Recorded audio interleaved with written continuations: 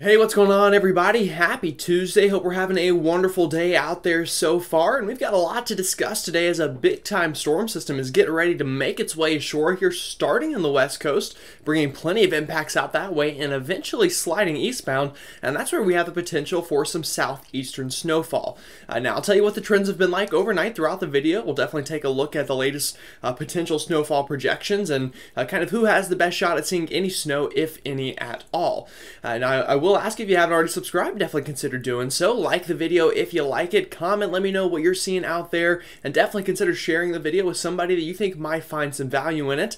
And I also just want to say thank you. The past two videos have done very well. We've had a lot of growth on the channel, so again, it means the world to me. And We're getting very close to 8,000 subscribers now, and the big goal here is 10,000. Uh, hoping to get there by the end of February if we can. So again, if you're a regular viewer and you haven't already subscribed, just make it easy on yourself, hit the button, and then hit the bell for the latest notifications. I think with all that said, we can go ahead and jump right into it because, again, we do have a good bit to discuss today. Now, starting off with satellite imagery, again, relatively quiet through much of the country, kind of the quiet before the storm. Now, with that said, we do have uh, one kind of uh, clipper system, this Alberta clipper that has moved in out of Canada. That will slowly uh, uh continue to work off towards the south and east today, bringing with it some mountain snow and uh, some lower elevation rain showers. And we'll take a look at that here uh, on future radar.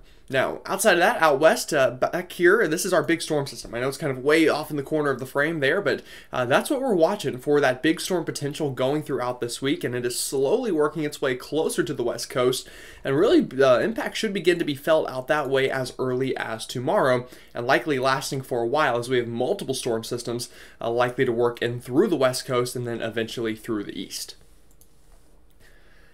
Now, radar imagery as well as watches and warnings. Again, this is one of the more quiet mornings so far that we've seen on this map in a while. And uh, with that said, though, we do have a you know kind of skinny band of precipitation, likely snow falling up here into much of Michigan, uh, with rain to the south of there through Indiana and Illinois, uh, as this kind of band again of precipitation moves on through.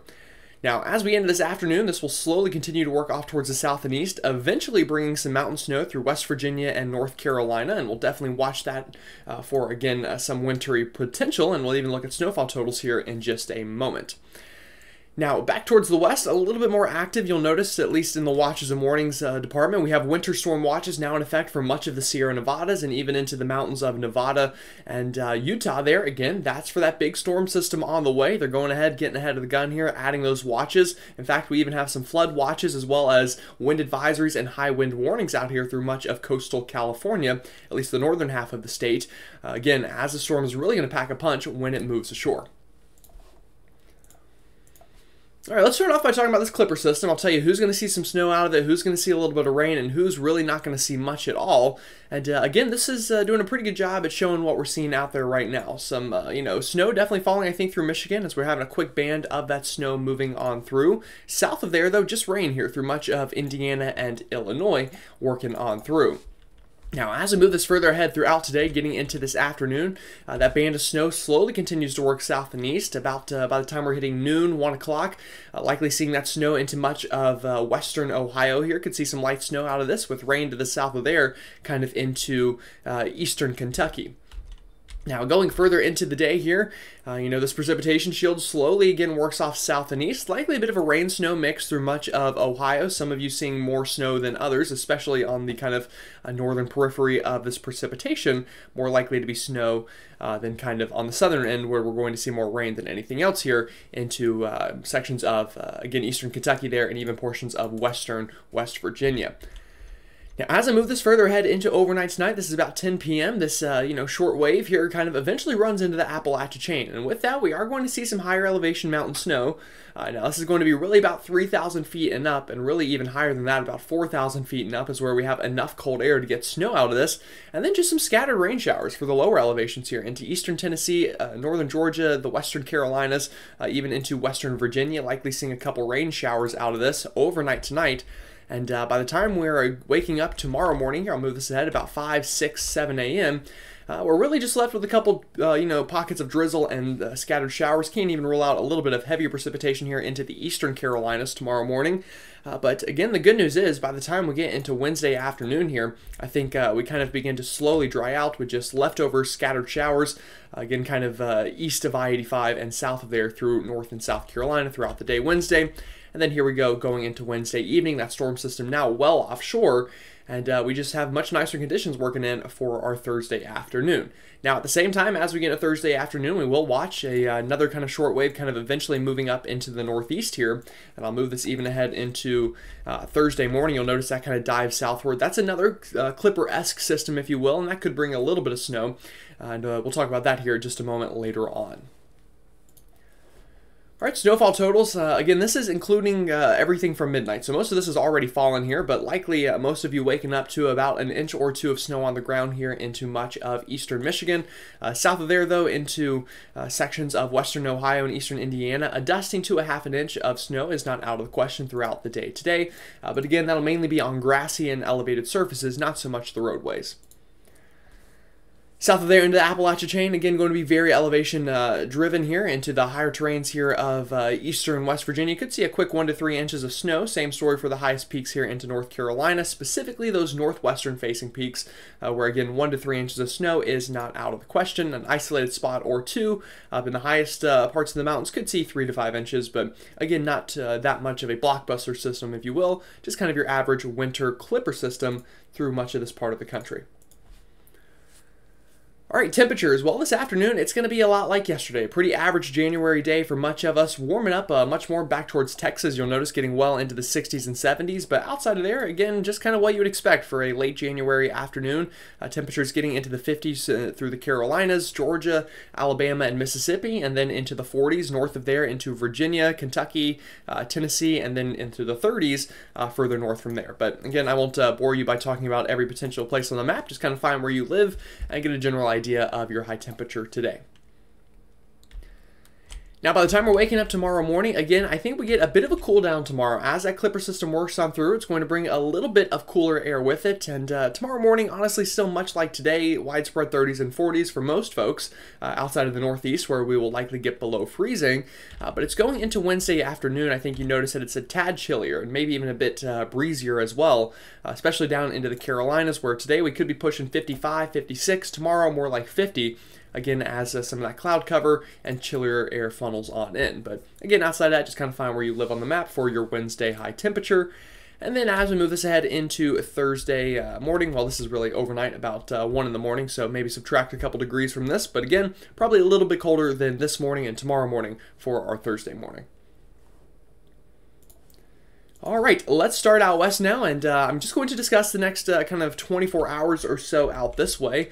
Uh, just because uh, once we get to about 48 hours, that storm system, uh, storm system, excuse me, starts moving on through, and I want to kind of uh, zoom out a little bit before we start zooming in area by area. But uh, here we go. This is this afternoon out west. You'll notice uh, again a pretty nice afternoon for most folks. Now we do have a storm system kind of slowly scraping the coastline of Washington and Oregon here, so could definitely see some scattered showers again within the first hundred miles or so of the coast, from extreme northern California up the Pacific Northwest coastline. But inland areas and areas south of there, really from San Francisco south through LA. A really nice afternoon today with uh, pretty clear skies and uh, really not much precipitation to talk about.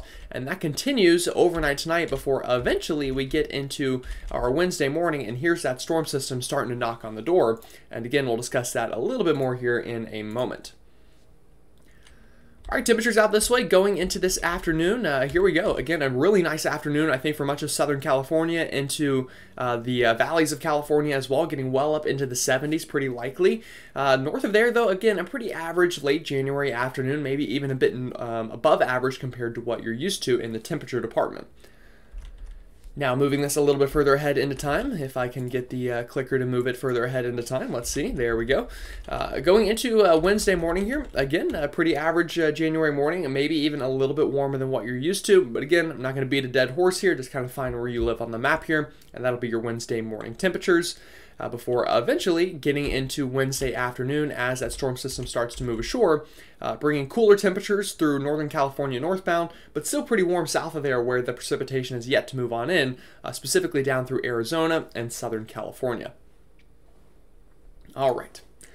Uh, now let's kind of discuss the storm system. Again, obviously, it's kind of the uh, big thing on a lot of people's mind here, so let's uh, kind of break it down for you. And we'll start here with Wednesday afternoon, our 500 millibar height anomaly. Again, this map just kind of shows us where we have troughing and ridging in the atmosphere, and uh, really helps us kind of understand what the pattern is looking like.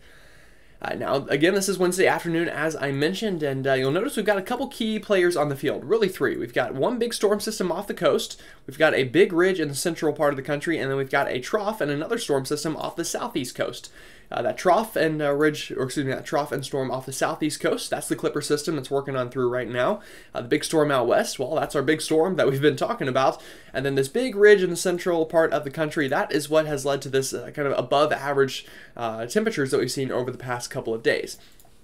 Now, as I move this a little bit further ahead into time, uh, I'm going to stop it again here going into Friday morning. At this point, that storm out west really starting to work much further inland, and at the same time, we get another kind of trough here up into the northeast. Uh, that's that kind of uh, next little clipper system or shortwave I mentioned earlier in the video that could bring some uh, snow to you folks in the interior northeast. But what's really important with this area is the transportation of cold air it could potentially bring.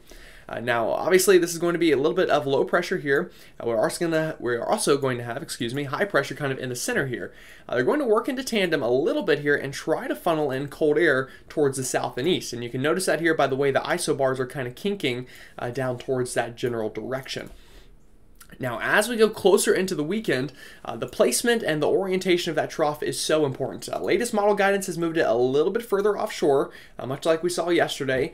And uh, with that general idea here, um, that's going to make it a little bit more difficult to get the cold air south. Uh, you would ideally like it to be tilted a little bit more this way, a little more positively, if you will, and also a little off towards the um, west there. Uh, so right now, there's not going to be all that much cold air transportation, and uh, that's going to play, you know, huge or pay huge dividends into who sees wintry weather and who doesn't. Now, the one part of the storm system that has maintained itself and stayed very consistent in the models is the track, uh, and this continues to look like a very good track. Here we go, uh, into Sunday, overnight, and early Monday. Again, low pressure right over uh, the southern tier of the country here right along the Gulf Coast and making basically a perfect track here uh, for winter weather fans through sections of the southeast. The big question, though, still again, is who is going to have enough cold air in place, and will anybody have enough cold air in place? Before eventually that storm system kind of begins to work on out of here off the east coast. And at the same time, we're getting another storm back west here uh, that is likely working on through. So again, a very active next week ahead. And uh, let's go ahead now and dive into kind of what this could potentially look like on radar. All right, latest GFS model, here we go. Going into Wednesday afternoon, here's that storm system now working into the west, bringing uh, rain for, again, much of the coastline. And eventually, by the time we're getting into overnight Wednesday and into early Thursday, big-time mountain snow, especially into the Sierra Nevadas, where uh, we could be counting snowfall totals in the feet uh, kind of range and not so much in the uh, inches kind of uh, department.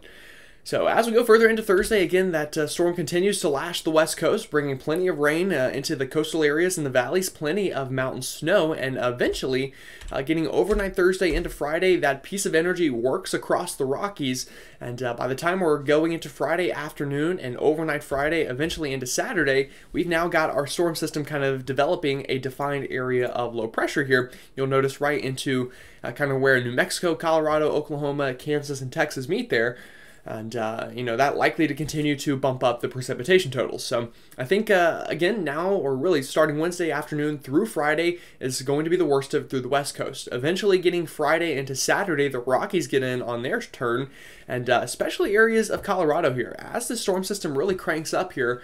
Uh, going again into our Saturday afternoon, plenty of snow likely to fall throughout the day Saturday, potentially even in the Denver area, um, back into the higher terrains. Much of the Four Corners seeing mountain snow out of this and even mountain snow up through Idaho, uh, Montana, and Wyoming as well, before uh, eventually the storm kind of finally starts to pull eastbound going Sunday into Monday. And at the same time, here's our next storm we need to watch uh, going into early next week, but we'll save that uh, discussion for another day. All right, rainfall totals out here. Again, most of it falls, I think, into Northern California, where we could see two to four inches, isolated spots, four to six inches here of rain, and uh, surrounding areas through really everyone in the West Coast is likely going to get some sort of precipitation out this, uh, out of this, excuse me. Uh, although some folks a little bit more than others, obviously. So definitely watching that here. Uh, but flooding could become a concern here into coastal California. I think uh, Wednesday through Friday, especially here into Northern California and even into South uh, Western Oregon, there where a lot of rain is going to fall. All right, snowfall totals. Uh, well, again, a good amount on the way here, uh, here into the higher terrains of Idaho. Again, this is just for the first storm, so this is not including any storm we get early next week. Uh, but you'll notice some of these totals getting well up uh, past a foot. Some areas even past two feet of snow into the higher terrains here, and that continues into sections of Montana and then into Yellowstone National Park as well. Again, some of these totals passing half a foot and getting up near the foot mark. Now, south of there, again, the Sierra Nevadas, I think, are going to be the real winners here in the snowfall, uh, you know, department. In some areas here, counting 50 inches of snow just through Sunday, and then again, another storm likely early next week to add on top of these totals. Uh, so plenty of snow for just about everyone here in the higher terrains of California. Uh, but even here into Nevada, you'll notice again some higher snowfall totals, about half a foot to a foot. And then Utah as well, some of these ski resorts going to get uh, more than a foot of snow as well. And same story through Arizona, New Mexico, and even into the higher terrains of the Rockies into Colorado. All right, that's the West Coast. Now let's talk the East Coast a little bit. Let me back my map up. Uh, kind of gave you some spoiler alerts there. We'll uh, pick this up on Saturday morning, and uh, this is kind of what the stage is setting. Uh, this is our GFS model from this morning. So this is the latest run, just ran uh, not even an hour or two ago at the time I'm recording this. And uh, here we go. We'll move this further ahead into time through Saturday afternoon. You'll notice a, a pretty rainy day here through Texas, Oklahoma, and uh, much of Arkansas and Louisiana. The good news is right now, uh, models aren't showing too much instability. So I think severe weather will be pretty limited here, if any at all, uh, for our Saturday afternoon. Now, can't rule out a couple strong storms here near the Gulf, as we normally see with these types of setups, but uh, overall speaking, uh, the weather should stay relatively tame, just quite rainy. And unfortunately, we've had so many rain out, so much rain, not so many rain, uh, but so much rain out this way over the past week or two. Really don't need that much more, but we'll definitely have to watch for some flooding concern here. Now here we go, overnight uh, Saturday into Sunday, and uh, here's the storm system slowly working eastbound. Now at the same time, that trough that is kind of our only hope for cold air here is now pretty well off into the northeast. Uh, so what you're really going to want to see if you want snow into the southeast and mid-Atlantic is you want this trough to scoot further off here towards the west and you also want it to kind of dig a little bit further south and hopefully kind of mesh with this storm or interact with it and have them kind of work into tandem and have the storm bring down its cold, its own cold air from that trough. Uh, now, latest GFS model doesn't quite do that. Uh, here we go into Sunday afternoon. Again, still just all rain for much of the south. Uh, rain and heavy in Florida, Alabama, Georgia, Mississippi, uh, and even into Tennessee and Arkansas. And eventually, here we go into Monday morning, February the 5th. And uh, you'll notice we've still got a lot of separation between these two pieces of energy. Uh, that cold air is still locked up further into the north uh, and east, and uh, this moisture, you know, a little bit too far to the southeast. Now, at the same time, this will still be cold. This won't be a warm rain by any means. And uh, as we get into Monday morning, you'll even notice some of the higher peaks in North Carolina here uh, getting in on some mountain snow, definitely, again, where it is cold enough to see it. Uh, now going further into uh, the afternoon of the 5th here, the storm kind of just, you know, continues to strengthen off the Carolina coastline and still just bringing a very cold rain for a lot of folks. Uh, in fact, if I take a sounding here Tuesday morning just to get an idea of the temperature profile, uh, yeah, down here at the surface, uh, you know, a nice 39 degree rain. Uh, so you know, a little, you know, not very wintry, not uh, snowy by any means, but I will preface this by saying uh, this is just one model, this is just one deterministic run, and we're still about five to seven days from any wintry weather potential. So things can still change, and I'll even show you here a couple other models as well.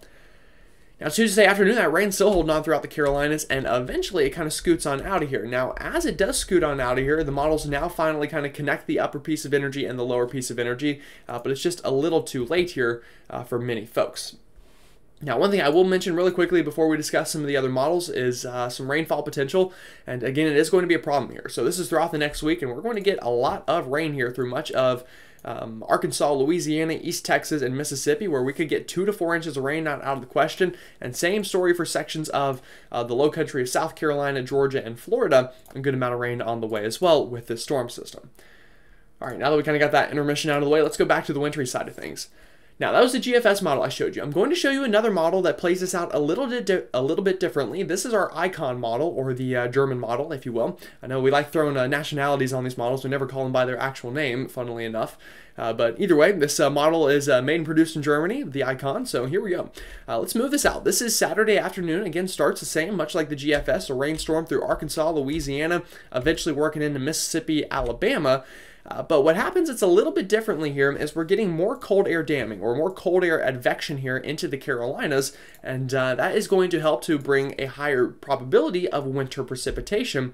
And you'll notice as I move this into Sunday afternoon, you're saying, well, it's still all rain. Sunday evening, still all rain. Uh, even overnight Sunday, still all rain. But here we go. Starting Monday morning, we've got snow breaking out into North Carolina on this model. And eventually, as I move this further ahead into time, uh, what happens here is what we want to see. You'll notice all these blue isobars that are up in the northeast start moving southbound, and uh, this storm system connects with this upper trough, and that is going to funnel in cold air onto the backside of the storm. And uh, you get that rain now changing to a very heavy snow through sections of North Carolina, even portions of South Carolina here, overnight Monday into Tuesday and uh, drops a good pasting of snow here, even into the I 95 corridor eventually. And then finally, uh, the storm tries to even work up the east coast a little bit going into early next week. So obviously a very different solution than what I just showed you with the GFS. And uh, I don't want you to take away that one model is absolutely right and one model is absolutely wrong.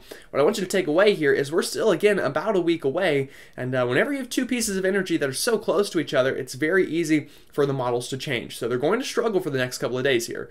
Uh, so I'm sure you'll see some models that show absolute crazy snowfall numbers and, and some that show, uh, you know, just a good old-fashioned cold rain for hours on end. And uh, the reality is right now, we just don't know what the correct answer is. Now, we can lean one way or the other, and right now, unfortunately for the snow lovers out there, the GFS looks a little bit more likely.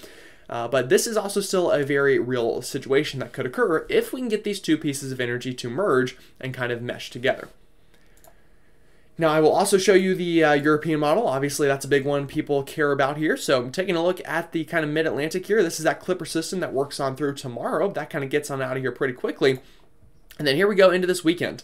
Uh, here's that rain. It starts working on in Sunday afternoon on the European model. And I'll actually also mention here, uh, no matter what it right, no matter what right now, it looks like everyone starts as rain. So if this does turn into a snowstorm, it's going to be one of those storms that it starts raining, maybe even for a day or more, and then kind of turns to snow on the backside as that cold air is able to kind of do its magic.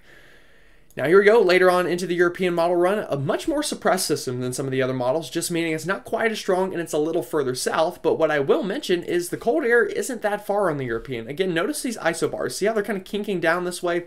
That indicates to me that we have cold air damming. Uh, granted, not maybe to the extent you want to see it for a big time winter weather, uh, but if I take a sounding here on Monday morning, uh, into an area like, uh, let me actually move a little bit north. Let me take a sounding in the Danville area. I just look at the surface. Yeah, we've got a temperature of 32 degrees and a dew point of 21 degrees. Uh, so the cold air is here on the European model. Uh, it's just a little bit further north than you would want, and the precipitation or the storm is a little bit more suppressed and a little bit further south.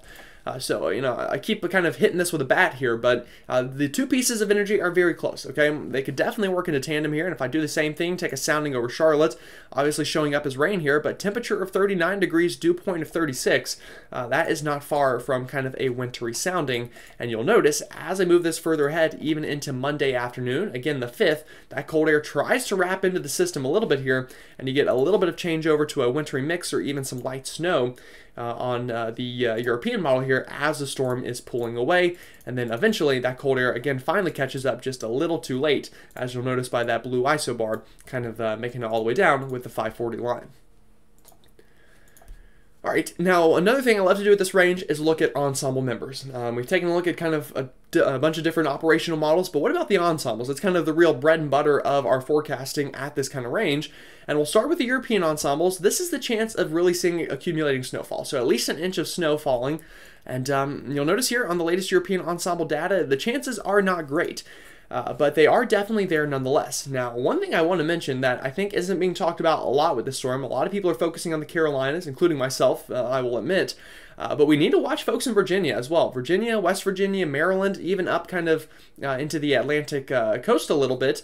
Uh, again, the cold air is much more plentiful there, and oftentimes we see these storms kind of move north a little bit uh, during the uh, you know kind of final trends, and that could definitely be a possibility. And with that potential, uh, snowfall chances are the greatest here in the mountains of North Carolina, and then up into Virginia and West Virginia, uh, where we have a good you know one in five shot here of seeing accumulating snowfall out of the storm.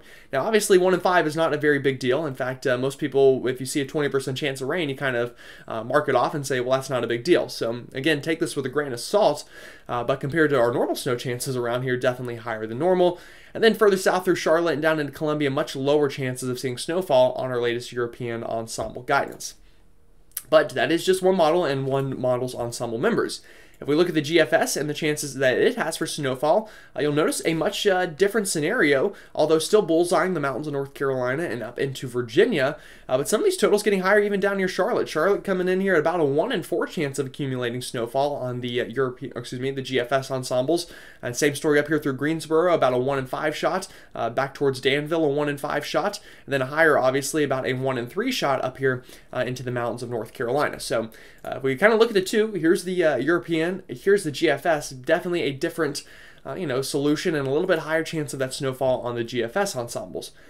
Now, one thing I will mention as well, as I move this further ahead into time, the chances even increase a little bit here along the I-95 corridor. It's not out of the question for the storm to maybe try to move up the coast, just right now doesn't look like the most likely scenario. Now looking at the uh, CMC or the uh, Canadian Models Ensembles, which is also something kind of important to look at, uh, again kind of paints a very similar bullseye over the same areas and it's kind of an in-between in terms of percentages here of the GFS and the European. Uh, so honestly this might be the best to use for actual kind of a good blend of everything and again about a 10 to 20% chance of at least an inch of snowfall accumulating here through much of North Carolina, Virginia, and then lower chances back down into South Carolina.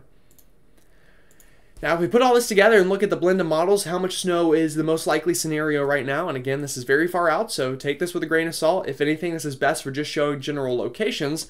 Uh, again, obviously the highest chances right now into the mountains of North Carolina. I think if anybody right now is most likely to see accumulating snow, I would pick there. Next best shot, likely into the foothills of Virginia and North Carolina, uh, where right now, if you blend everything together, the highest snowfall members and the lowest snowfall members, again, only about a half an inch showing up here. So uh, not a very large signal, but enough that it's definitely worth mentioning here and uh, we'll continue to watch the trends over the next couple of days. Obviously, uh, today is Tuesday, and this wouldn't happen until about next uh, Monday, really, so we're still about six days away, and uh, as plenty of you know, I'm sure plenty of stuff can change in meteorology in six days, uh, sometimes even within six hours, so, uh, you know, we'll definitely have plenty of time to continue monitoring this as we get a little bit closer.